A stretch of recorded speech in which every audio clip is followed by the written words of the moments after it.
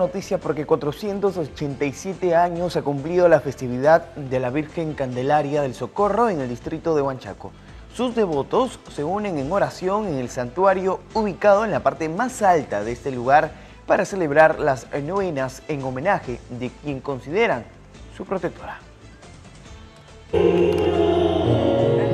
Celebran con oraciones y actos de fe 487 años de historia y fervor que se transmite de generación en generación. A los pies del santuario, considerada como patrimonio de la nación, la Hermandad de la Virgen Candelaria del Socorro es la encargada de la organización de las acciones litúrgicas y recorridos procesionales que se desarrollan del 15 de enero al 3 de febrero. La, Virgen del, eh, del Socorro tiene en esta oportunidad dos salidas importantes. Una es el día 28 de enero, que nos encaminamos al Cerrito de la Virgen, que es una leyenda conocidísima acá en Trujillo, donde eh, decían los eh, antiguos guanchaqueros que encontraban a la Virgen de Socorro lavando los trapitos de su niño, ¿no? Entonces no se ha, no se ha perdido esa, esa, esa fe, esa caminata y invitamos a que el poblador eh, trujillano venga y se relaje en un sitio de esparcimiento, que es una caminata de hora y media hacia un cerrito y, pase un día junto a la Madre Santísima, ¿no? Y asimismo invitamos también al poblador de Trujillo a que el día 2 de febrero, que es el día principal,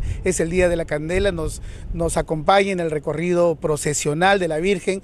Esta es la emoción que comparte Orlando Flores, que desde niño acompañó a la Virgen y ahora en sus manos está la responsabilidad de hacer que la fiesta en su honor se desarrolle de acuerdo a la unidad verdadera que la Iglesia Católica pide como un acto de fe hacia la Madre de Cristo.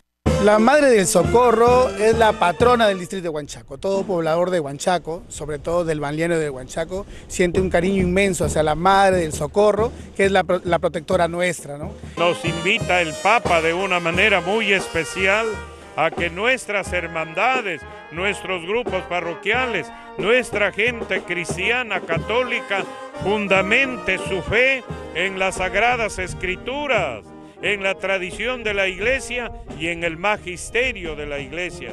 Entonces, unos feligreses que conocen su fe a través de la Santa Biblia es una iglesia viva, es una iglesia que camina en el conocimiento de su fe de acuerdo a las sagradas escrituras. Esta festividad une a la comunidad de Huanchaco que participa en las misas de acción de gracias y demás actividades que buscan despertar el amor entre familias y vecinos. Todos se encuentran en la Virgen, un motivo de esperanza en la vida.